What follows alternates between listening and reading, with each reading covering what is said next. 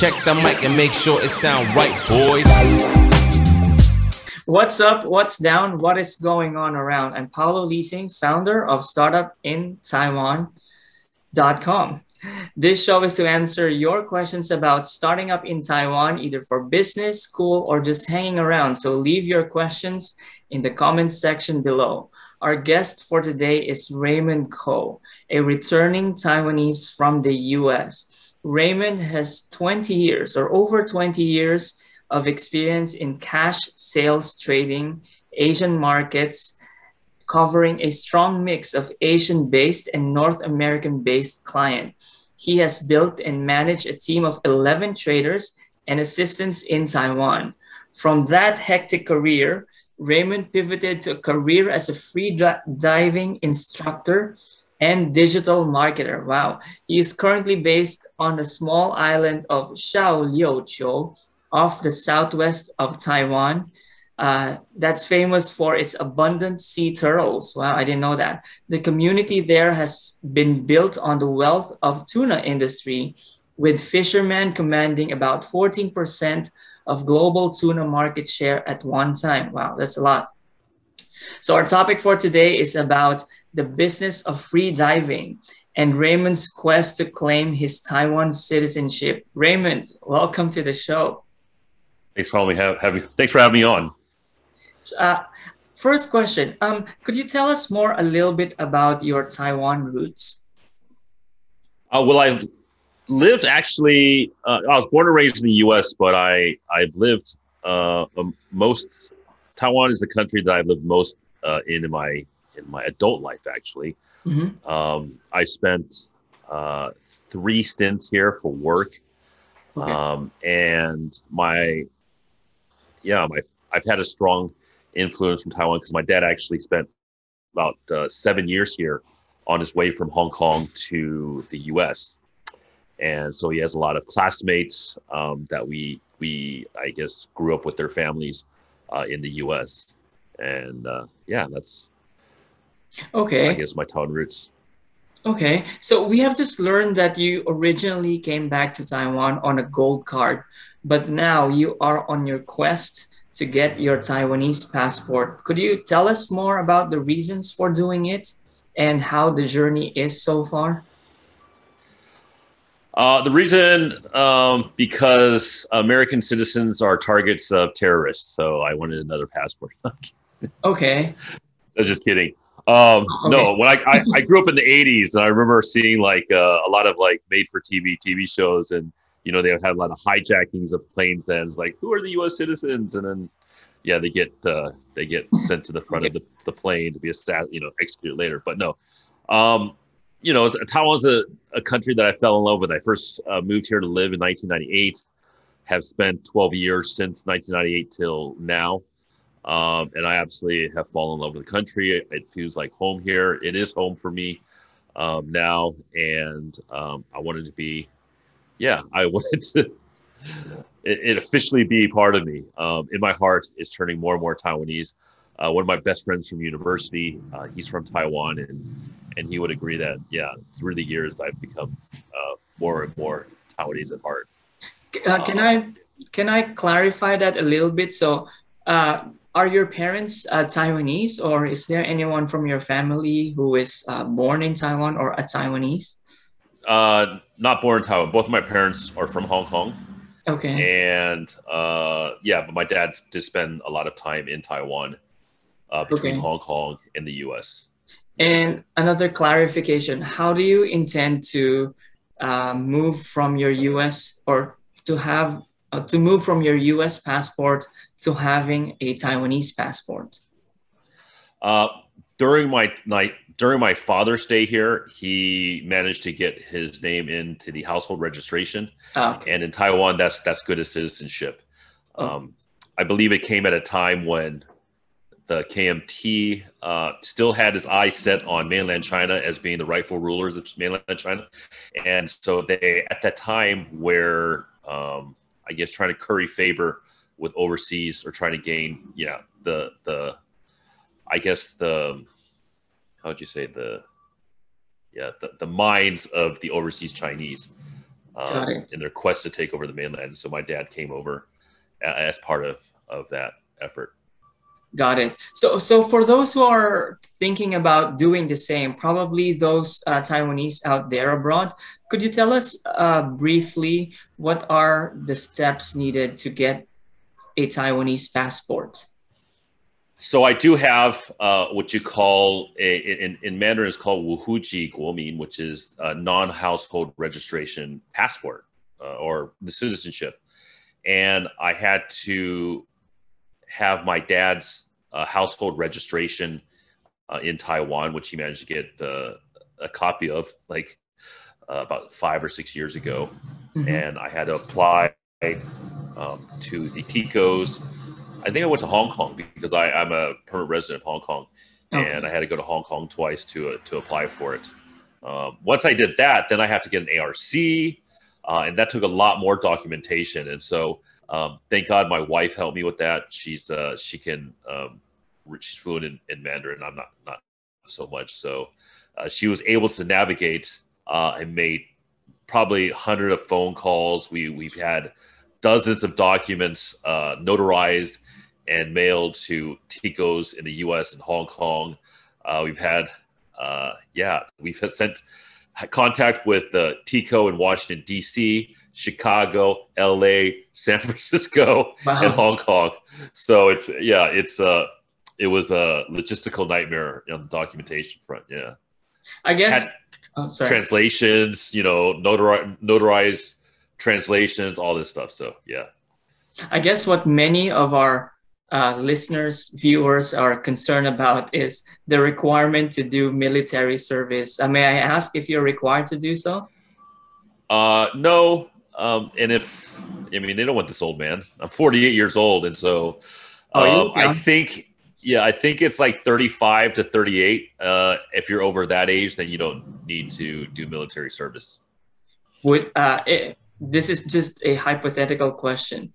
Would you do it if you were required? Let's say you were younger than that age, or you would wait.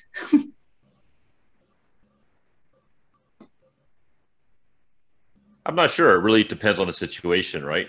You know, if I had time, I would think about it. But you know, if I had, uh, you know, my family and kids to feed, and that was a long probably... pause. But yes, I thought for a, for a while I thought everything went off. But yeah, that was a long pause, and it's it's a good that you still consider it based on the circumstance that may be around that requirements. Are female uh, females required to serve the military, or is there like an equivalent requirement? I've never heard of that, but uh, I mean, going back to your last, why I pause so long is this. You know, every I I I I, I would look. Every experience is a learning experience, and I think mm. uh, having some military experience would have been been interesting background for me to learn from. Um, so I mean, that's why I, paused a bit and thought about it. It's not like no, you know, like a lot of the wealthier Taiwanese, you know, they they they tend to get uh, foreign passports for the sons to avoid military service. But uh, you know, I could have benefited from some military service, uh, and I'm certain a lot of people have. So, yeah, for sure, yeah. Uh, with all those paperworks uh, that you have uh, done, filed, how uh, how far are you from obtaining your Taiwan passport? So Is the reason why, uh, you know, doing all the paperwork could take a couple months, three to six months. Um, it's just a oh. matter of getting uh, documents to the proper uh, institutions of the Taiwan government.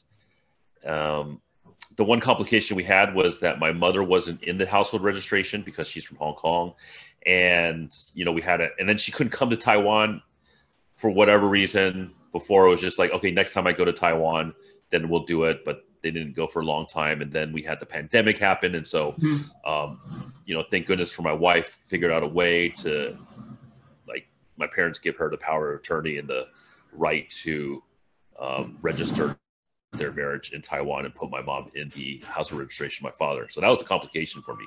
That's why I originally came on the. Sorry. Does it have to be both parents being Taiwanese yeah. to be able to get your Taiwanese passport, or just one? I'm not necessarily Taiwanese, just needed to be in the household registration. Got it. But I guess that means you are Taiwanese if you are in House of Registration inherently.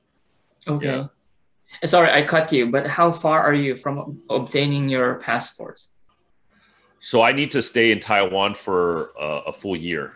Um, so you have through the way that I'm doing it through my father or a house or a or a Taiwan citizen parent.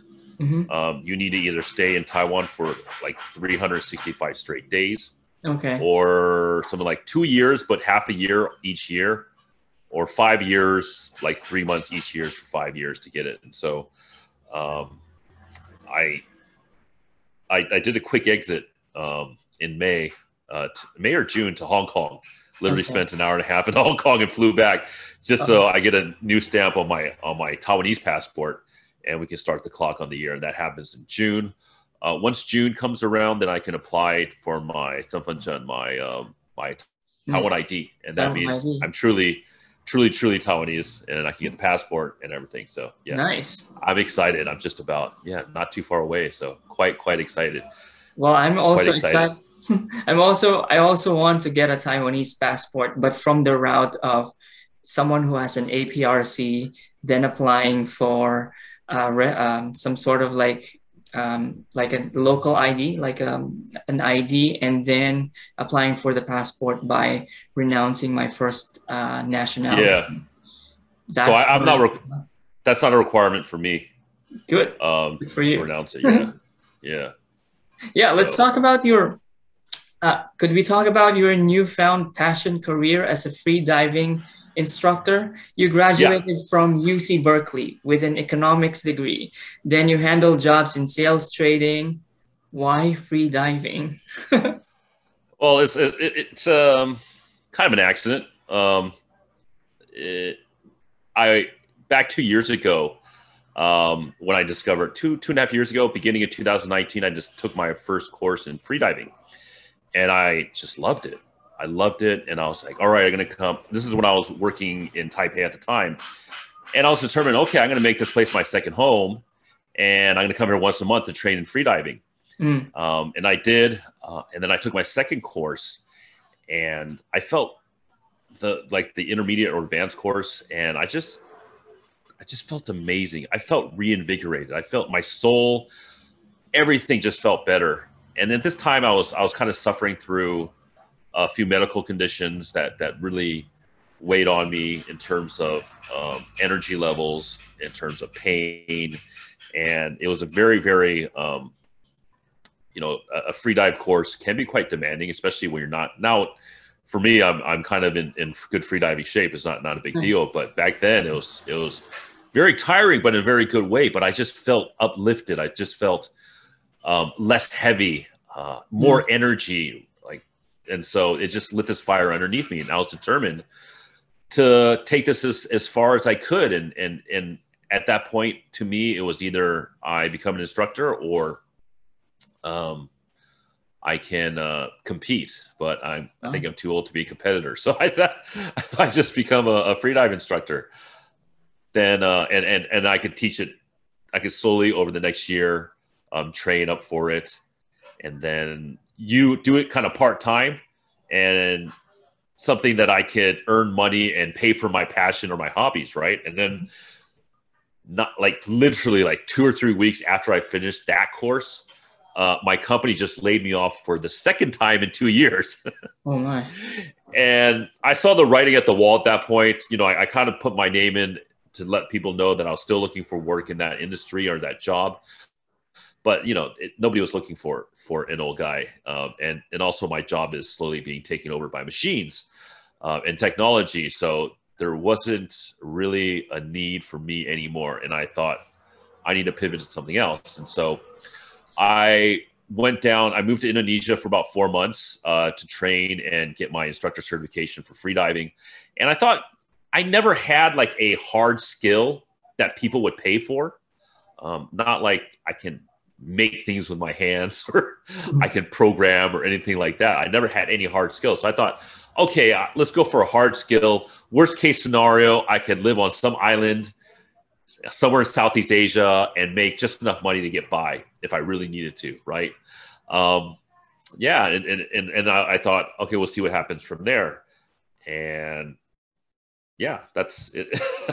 I thought it was just going to be like kind of a hobby, a really um, serious hobby, but nonetheless a hobby. But now it, it seems to be a full time thing for me now. How is it so far? Do you get a lot of um, clients, students? Um, it's getting better now. I, I, in terms of marketing, I went through the SEO route. I, I spent a lot of time on my website. I spent a lot of time on running blogs for my website and gaining, I guess, exposure that way. And it took about until so I got my website done around about a year ago, mm-hmm. and it a year or December, and I it really didn't start ranking until September. I started okay. seeing a lot of uh, leads coming in through my website September, okay. and that's when a lot of the blog articles that I wrote started ranking number on the first page of Google, and that's when I started seeing um, nice. more interest coming from that. Yeah, so my through Google Google Search Console, you can see how many people have gone to your website from searches, right? Mm-hmm. And I would maybe get 10, 12 per month through Google and then um, September it went to like 150. No, wow. last last month was like 250. So yeah, I'm getting getting more exposure through my website. We will talk about that digital marketing career, but first, um, I just want to go back to the uh, free diving instructions as a business. Are there any specific requirements for doing this? Um, you need an instructor certification. Um, you also need to be a free dive, uh, sorry, a uh, emergency first responder certification, mm-hmm. um, and liability insurance. Okay, but your your certificates were from Indonesia training. How how is it recognized uh, in Taiwan? Um, not necessarily from Indonesia. It's just the schools that I went to were in Indonesia. My mm-hmm. certifications were all. oh, did I? Did you block out there? No, I'm here. Okay. Oh, my screen just went. Sorry about that. Um, yeah, I certified by two agencies, and they're both international. First one was AIDA, um, okay. which is uh, God, it's something French, but I don't remember uh, what it means. But uh, it's it, AIDA was largely responsible for uh, the development of modern day freediving in the last twenty years. Okay and um, but I teach mostly the Molchanov's um, system, which is the uh, system from like two of the greatest free divers to modern day competing free divers. Okay. Um, or the family, it's the father, or sorry, the Molchanov's family. So they're sort of the new kids on the block, the up and comers, and so yeah, I like teaching their system more. I think it's more helpful for the students.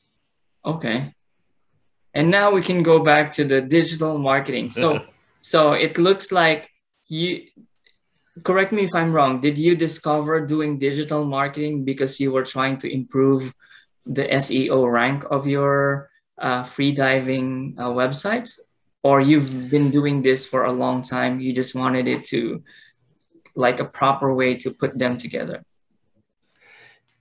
uh, it's it actually started way long maybe 2015 Mm-hmm. Um, you know, I, I thought digital marketing is is as an interest very interesting because, like, I have a lot of ideas spinning in my head, right? And mm-hmm.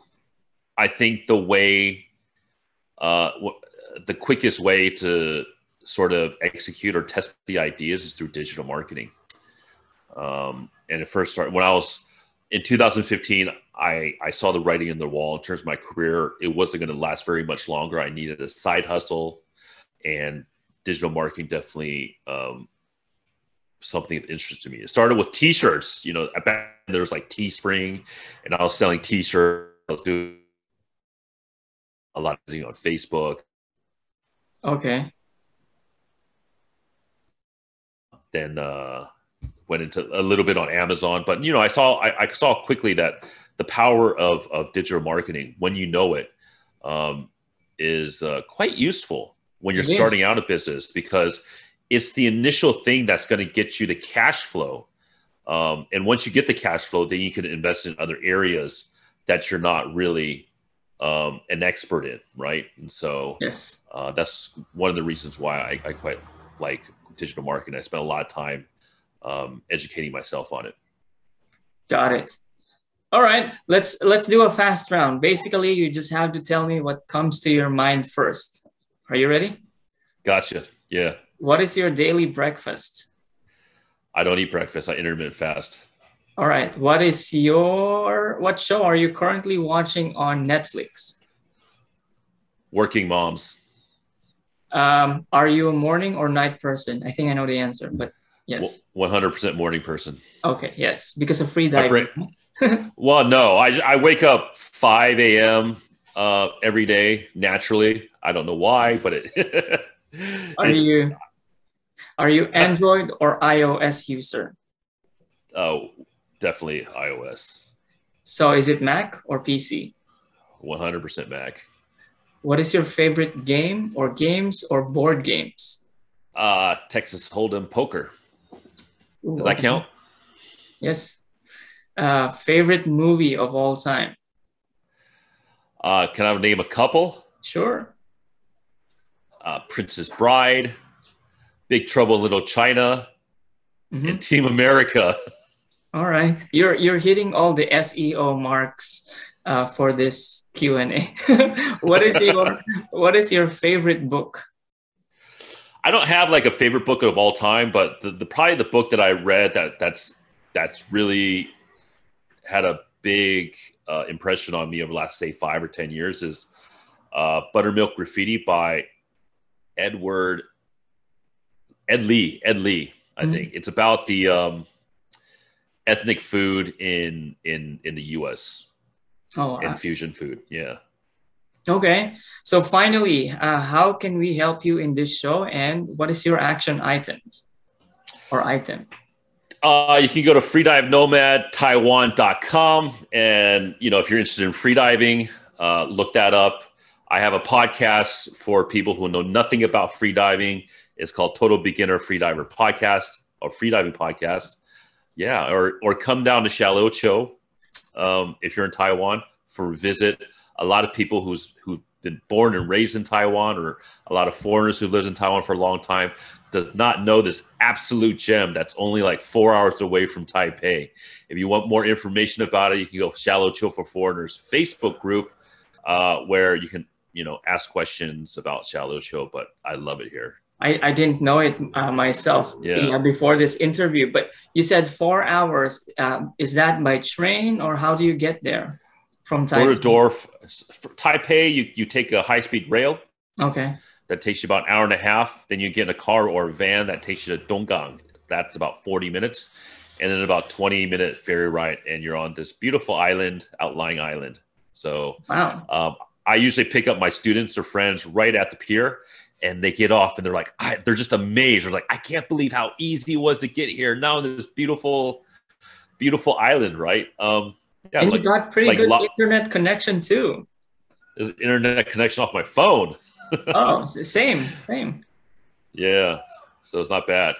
Um, yeah, like Green Island and Lanyu or Orchid Island is probably prettier, mm-hmm. um, but uh, it, it, probably takes you a whole weekend to get there and back. And it's it's a very easy weekend trip you could do to Xiaoliuqiu.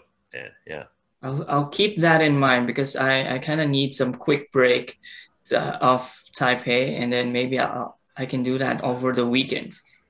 Yeah, I think those people who are remote, um, who can work remotely and don't need super fast internet connection, is a great place. Great well, place. I would, they, I would just lack, totally, yeah. I would just totally just cut myself off from the internet just to enjoy nature and use that as, ex- yeah. as a, the slow internet use that as an excuse not to be on the internet yeah yeah this is definitely a, a great place uh, to reconnect with nature.